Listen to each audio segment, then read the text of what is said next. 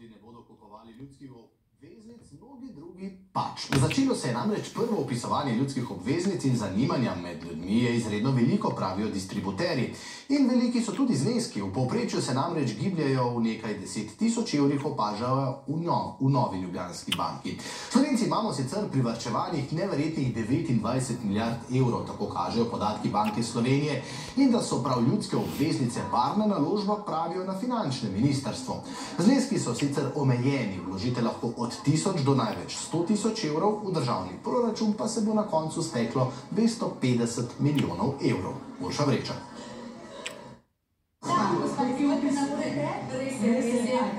Z upisi ljudskih obveznic so zjutraj začeli tudi v poslovalnicah Nove Ljubljanske banke.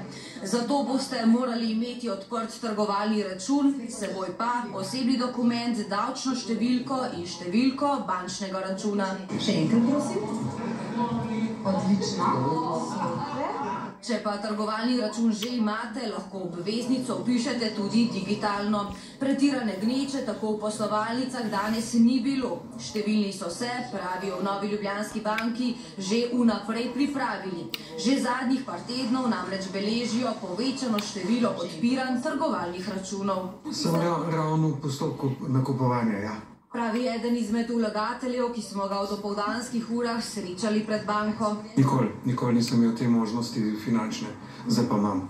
Vložil bo sicer nekoliko nižji znesek, pravi, a je prepričan, da gre za varno naložbo za njegove prihranke. Vsekakor, na vsak način državi zaupam. No, druge mimoidoče te obljube države niso pritegnile. Se mi zdi, da je boljš v kaj drugega vložiti. Ne vem, to je pač moje mnenje.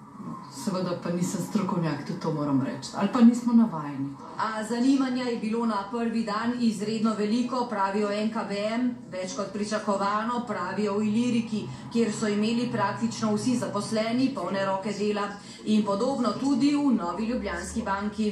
V prvih urah upisa uh, zaznavamo povečan interes, predvsem strani vlagateljev, ki že imajo odprte trgovalne račune, zneski pa se gibajo uh, v nekaj deset tisoč evrih. Upis bo potekal do vključno 16. februarja na skupaj 249 upisnih mestih po državi.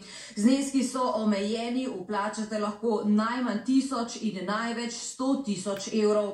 Skupaj bo izdanih za 250 milijonov evrov triletnih obveznic, letna obrestna mera pa znaša 3,4 odstotka. Ni namen, da to samo nekaj res bogatih posameznikov naredi, ampak da to pač poskušamo približati čim širšemu številu prebivalcev. Pravi finančni minister, ki je napovedal, da bo obveznice kupil tudi sam in ni edini član vlade, za nakup se bo odločil tudi premijer Golob, zelo resno o nakupu v znesku nekaj tisoč evrov razmišlja infrastrukturna ministrica.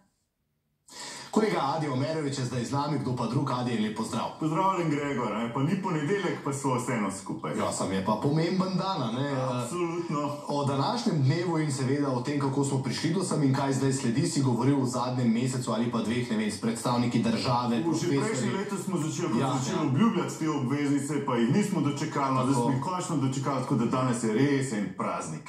in eh, res veliko ljudi je reklo, Ja, to bo dobra stvar, pa vendarle, kaj ljudi morda najbolj tare. Ja, dej, um, vsi, s katerimi sem govoril, in iz ekonomske fakultete, in finančni analitiki, in Ljubljanska borza, uh, in konec koncev tudi distributerji, vsi so uh, pozitivno sprejeli to obveznico. Zdaj, pri ljudeh pa opažam, da je največji pomislek, da je premehen ta 3,4 odstotke, da je to čisto premalo, glede na inflacijo, ki jo imamo. No, zato sem pa pripravil en grafični prikaz. Uh, recimo, če bi to primerjali z nakupom stanovanja v vrednosti 300 tisoč evrov. Recimo, da kupimo stanovanje z 250 tisoč evrov, porabimo še 50 tisoč evrov, da ga opremimo, potem pa to stanovanje damo na trg in pobiramo mesečno najemnino v vrednosti 850 evrov, to bi zneslo na leto 10.200 evrov. No, zdaj temu je potrebno dodati še davek. Zdaj, na drugi strani je to ista donosnost 3,4, kot jo prinaša obveznica. Zdaj, edino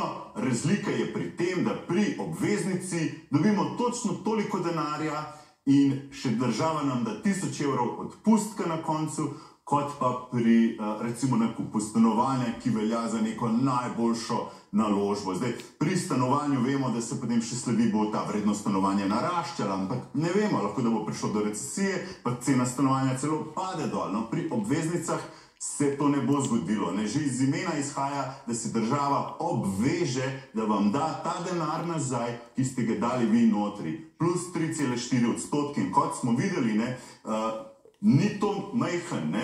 vsi pravijo, pa to je v resnici zelo velik donos, ki vam ga država omogoča. Mhm.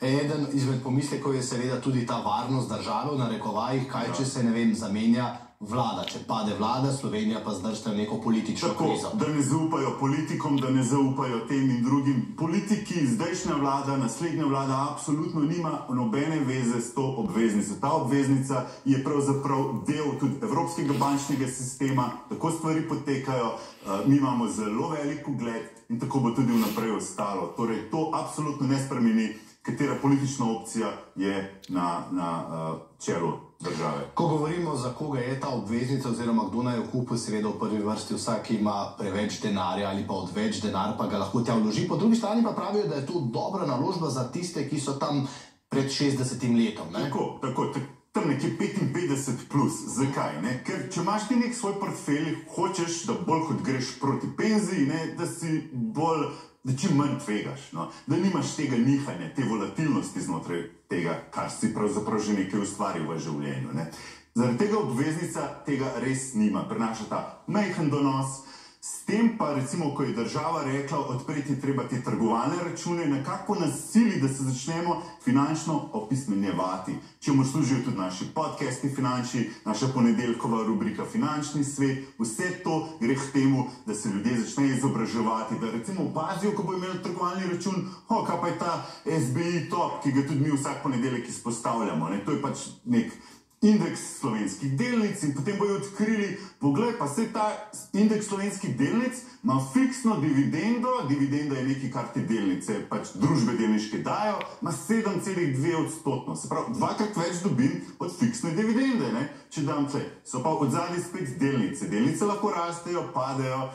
Zato morda za mlade, tiste, ki se jim da več tvegati, je to odlična priložnost, da spoznajo tudi slovenski kapitalski trg, uh, samo ne opazujejo na začetku, da vidijo, kaj se dogaja, videli bojo, da je ogromno nekih čudovitih priložnosti, čudovitih zgodb in da je vredno to spremljati, tako kot ne vem, druge stvari, oziroma bolj kot recimo vem, športno tekmovanje ali pa politiko v končni fazi. Tole mislim, da, da je dolgoročno zelo koristno za vsakega, ki bo spremljal. Pa zdaj si bil pristranski, jaz rad spremljam šport. ne? Absolutno, tudi jaz rad spremljam šport, pa se pravi, da da od Vem, tega imaš dejansko lahko tudi korist, če, če spremljaš, no seveda tudi od športa. In zato te bomo spremljali v ponedeljek, ali za danes pa. Že pripravljam za ponedeljek, krasno bo. Hvala.